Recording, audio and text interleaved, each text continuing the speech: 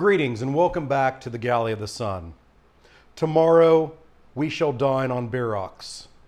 Therefore, tonight we must make the innards and give them time to mingle in the cold, romantic refrigerator overnight, becoming even more delicious. Many people think of bierocks as a Midwestern food, and uh, it's sort of true.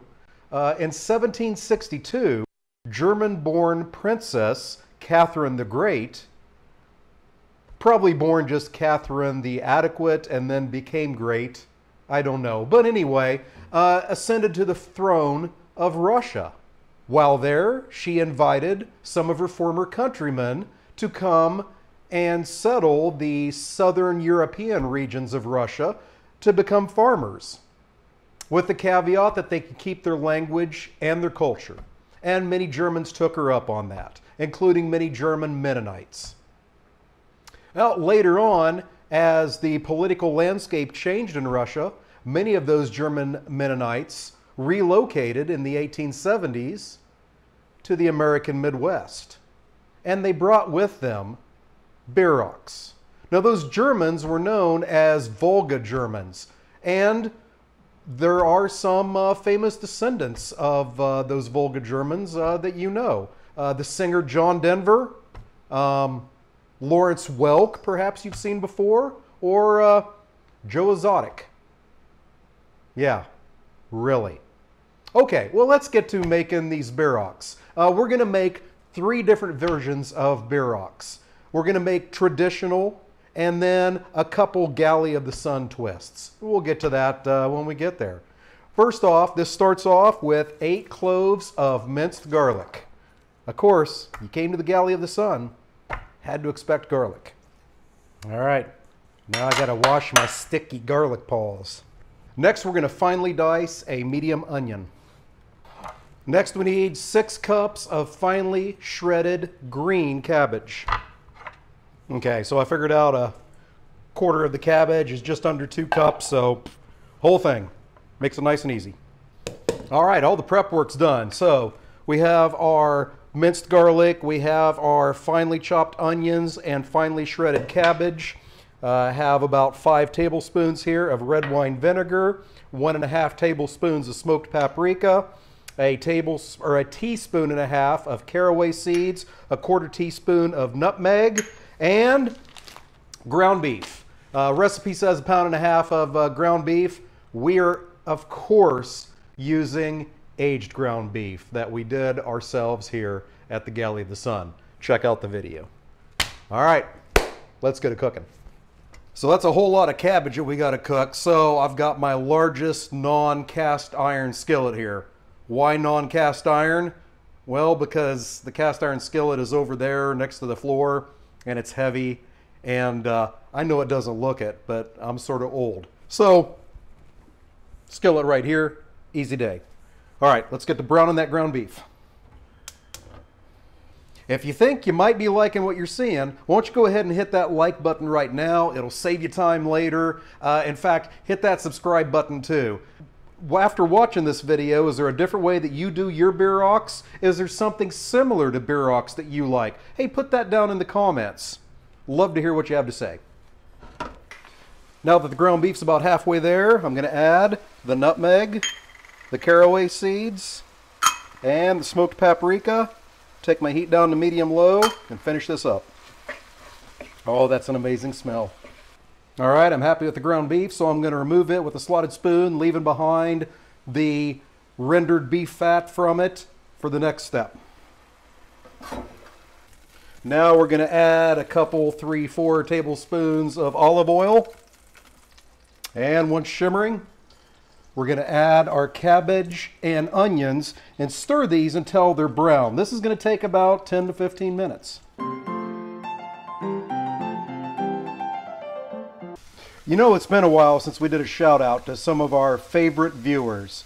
So, hey, if you have some time, go check out Susan at Rhubarb and Cod. She makes fantastic stuff, um, beautiful cinematography. Definitely a channel to check it out. And another one to check out is Maple Cook. He makes some amazing stuff. His, uh, I don't know, 48 ingredient mole just looks incredible. I still haven't tried it. I need to get to it, but uh, he does some amazing stuff. So check his stuff out. And yes, both those shouts out, shout outs are to Canadians. We're big in Canada. We're international.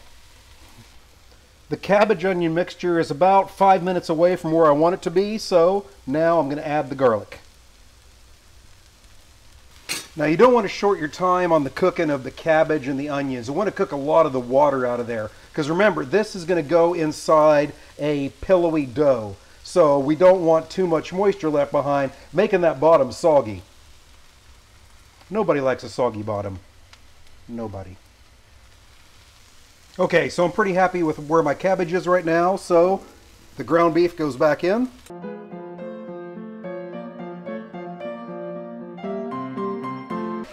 Get all that mixed up. The cabbage, the garlic, the smoked paprika. Oh God, this smells good. Okay, it's all mixed together. Now we're to give it a healthy pinch of salt and pepper. And we're going to add the five tablespoons of red wine vinegar. Get that all mixed together. Give it a quick taste. Oh, it's going to be so good. All right, so as I said, I'm making three different versions. I am making a traditional version and two other versions. So I need to divide this into three. The traditional and one of the versions is going to go in the bowl and in the refrigerator. And then I'll leave one third in here and we'll do something to it in a second. So what I'm trying to do now is take out two thirds of the mixture. Oh my God, I flung shit everywhere. Char's gonna kill me. Okay, that feels like it's two thirds. I'm gonna let this cool and then cover it in plastic wrap and put it in the fridge. This last third is gonna get mixed with some fire roasted hatch green chili peppers. Definitely not traditional. It looks like a decent amount there. I'm guessing that's between a half and a quarter cup.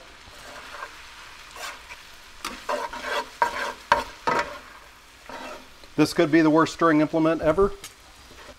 Oh, that hatch green chili smell mixed with everything else. Mm-mm-mm. Okay, all we need to do is mix those up. Those fire rested hatch green chilies are already cooked. So turn off the heat, set that aside. Once that cools, that's going to go in a bowl, get plastic wrap, and go in the refrigerator overnight. Tomorrow, we will get to making the dough, and then we'll construct our bierocks and make that third version. So see you tomorrow. So here we are on Bierock Day. It's time to make the dough. So in my stand mixer bowl goes, and I'm doubling the dough recipe because I'd much rather have leftover dough than leftover filling. So four cups of all-purpose flour go into my bowl along with two packs of dry active yeast. The next step is to heat two cups of milk, two-third cups of butter, two teaspoons of salt, and a cup of sugar until it reaches uh, about 115 to 120 degrees. Then we're going to pour it in here. And to keep things traditional, just like the Volga German Mennonites of old did, I'm going to check that temperature with my infrared thermometer.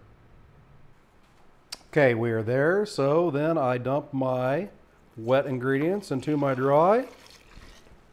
Then we're going to get that on the mixer, put in the dough hook, and then we're going to mix at low speed for about a half minute and then bump it up for about three minutes. We're also going to add our four cackleberries at this point. Now as we continue to mix, we're going to slowly add the remaining five cups of the flour until we have a moderately stiff, smooth, elastic dough. We're going to pause here and scrape it down.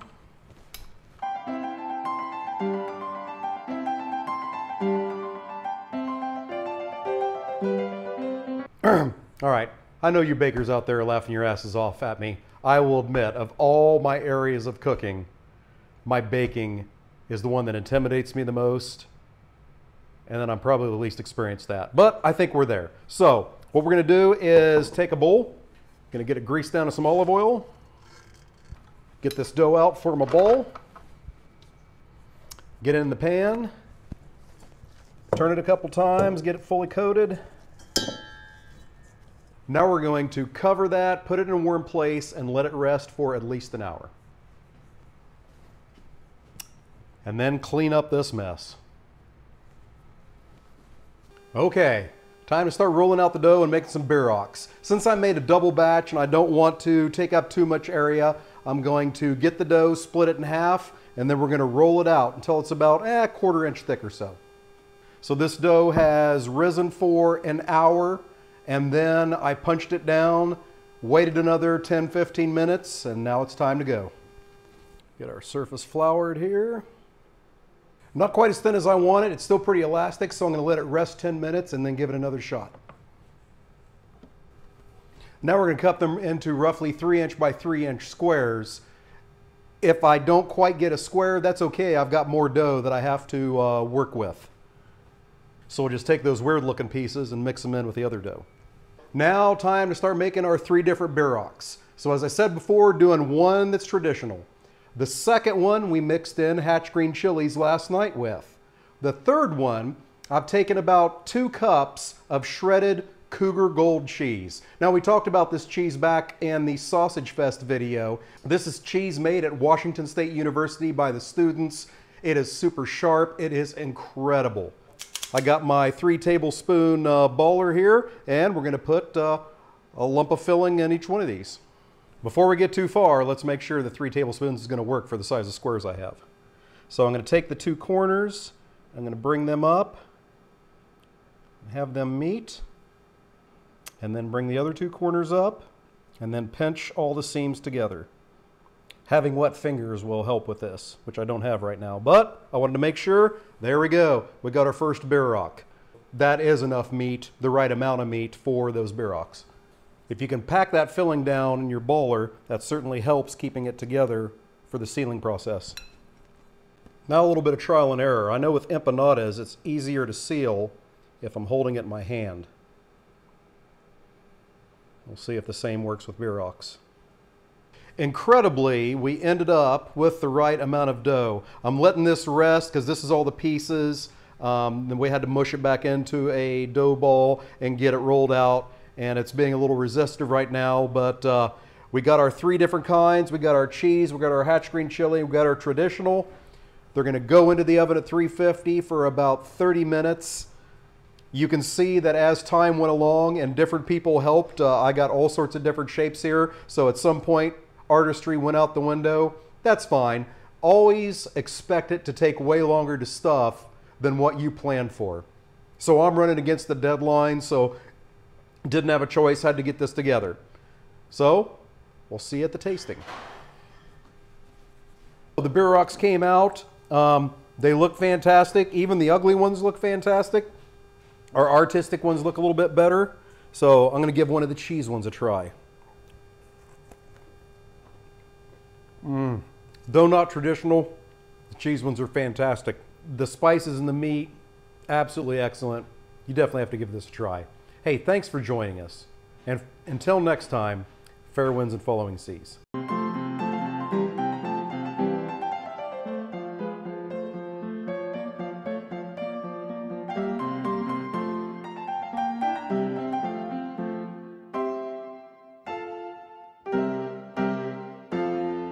So the next step, the next step is to heat two cups of milk, two third cups of butter, two tables.